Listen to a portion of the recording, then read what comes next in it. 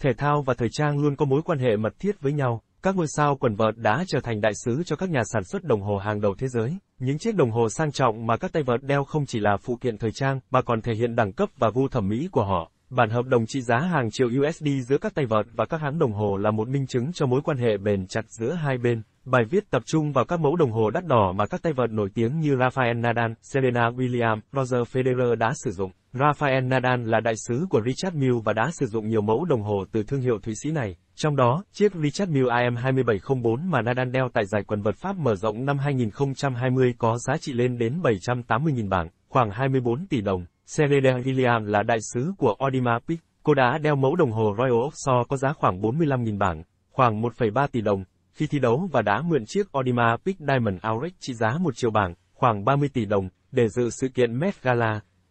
Novak Djokovic và Roger Federer là hai trong số những đại sứ đáng chú ý của các thương hiệu đồng hồ hàng đầu thế giới.